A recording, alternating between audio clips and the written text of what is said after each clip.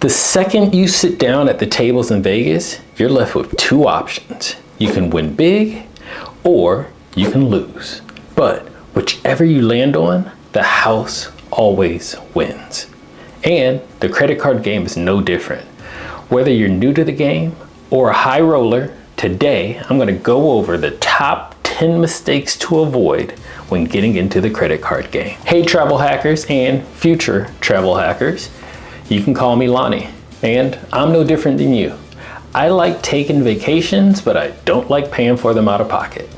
Now, I'm not new to the credit card game, but at one point in the long, long ago, I was. But if you are new, then you're in the right place. Before you go sign up for a new card that your friend says is great, but you never actually see them use it, let's go over the top 10 mistakes to avoid when creating your own personal credit card strategy. Now, disclaimer. This list is my own personal opinion, thus you may not agree with everything I say. And that's okay. If you have a different perspective, leave it in the comments below. Okay? Let's get into it. At number one, we have not getting rid of your debit card. Your debit card does not provide you with any points, miles, perks, or benefits. Debit cards also offer little to no fraud protection. If your debit card is stolen, you could be held liable for the fraudulent charges. With a credit card, you are typically only liable for a small amount, if any at all. When you use your debit card, money is instantly debited from your account, which can lead to overspending. When you use a debit card, you are essentially spending real money from your checking account. This can make it easier to overspend as you may not be mindful of your spending as you would be if you were using a credit card. Debit cards can also damage your credit score. If you carry a balance on your debit card, it will be reported to credit bureaus as debt, and this can lower your credit score. With a credit card, you can build your credit history and improve your credit score by paying your balance in full each month. If you're looking for a more convenient and rewarding way to pay for your purchases, I recommend using a credit card instead of a debit card. Credit cards offer a number of benefits, including fraud protection, reward programs, and the opportunity to build your credit history. For number two, we have buying stuff you don't need just to hit a welcome bonus, which is a common practice, but it can also be a very slippery slope. It's important to remember that a welcome bonus is just a marketing tool. And the credit card company is counting on you to spend more than you would otherwise. If you're not careful, you can end up in debt or with a lot of stuff you have no long-term use for. I remember growing up, my dad always said, if you don't have it, you can't have it.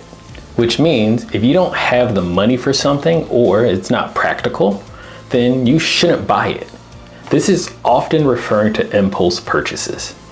If you're thinking about buying something just to hit your welcome bonus, ask yourself if you really need it.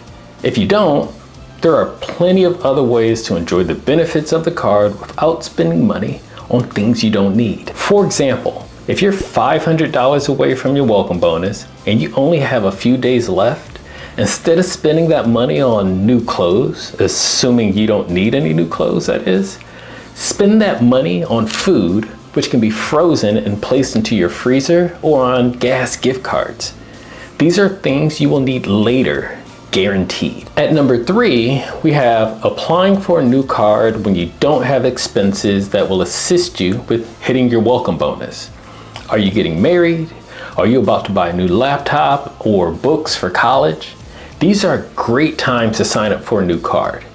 It is not advisable to apply for a new card if you don't have the necessary expenses to meet the welcome bonus requirements. If your intro spend is $4,000 and you only hit $3,800, then you don't get that welcome bonus and you also don't get your money back.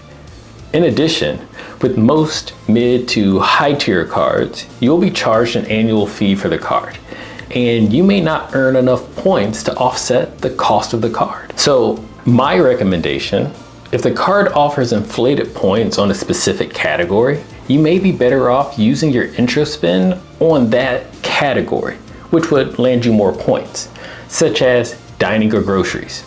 For example, the American Express Gold Card offers 4x points on dining and groceries. So, if you spend a lot of money on those categories, you'll earn more points than if you use the card for other purchases. Number four is using more than 20% of your total credit limit. Your credit utilization ratio is the amount of debt you're using compared to the total available credit. It's calculated by dividing your total debt by your total credit limit. If you have a credit card with a $1,000 limit and you charge $200 on it, your credit utilization ratio would be 20%. A high credit utilization ratio can negatively affect your credit score.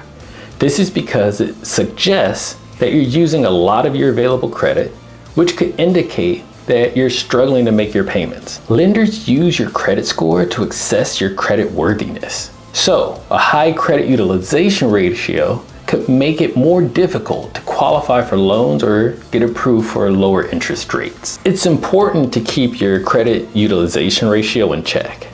A good goal is to keep your utilization below 30%.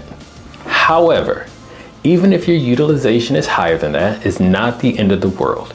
You can always pay down your credit balance before it's reported to the bureaus or just improve your credit score by making on-time payments and keeping your debt low. Now, number five is not paying your balance in full every month. Look, if you're not able to pay your balances in full every month, then the credit card game is not for you. Not only is this a bad idea, but it can have some serious consequences, such as high interest rates, late fees, damage to your credit score, and most of all, loss of your rewards. If you pay late fees or interest, any value you would have gotten from those rewards is now worthless as the late fees and interest has washed the value clean away. It's important to pay your credit card balance in full each month to avoid these consequences. Number six is not setting up autopay.